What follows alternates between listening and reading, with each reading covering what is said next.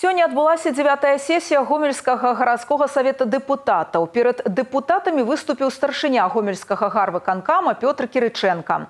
Ён падвёў вынікі работы выканаўчай улады горада ў 2018 годзе.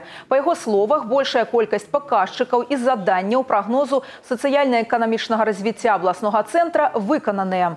Добра спрацавалі амаль усе сферы. Забяспечана станоўчая знешнегандлёвая сальда тавараў і паслуг. У горадзе створана амаль 3 1300 новых працоўных месцаў. Забяспечаны дынамічны рост сярэдняй заработнай платы. У снежні 2018 яна склала больш за тысячу рублёў. Актыўна развіваецца прыватны сектар эканомікі. Паступленні ў бюджэт ад малых і сярэдніх суб'ектаў гаспадарання павялічыліся і складаюць чвэрць ад агульнай колькасці. Высокай была інвестыцыйная актыўнасць. Па гэтым паказчыку гомель сярод лепшых у краіне. Наибольшие вложения реализованы в производственные и социальные объекты.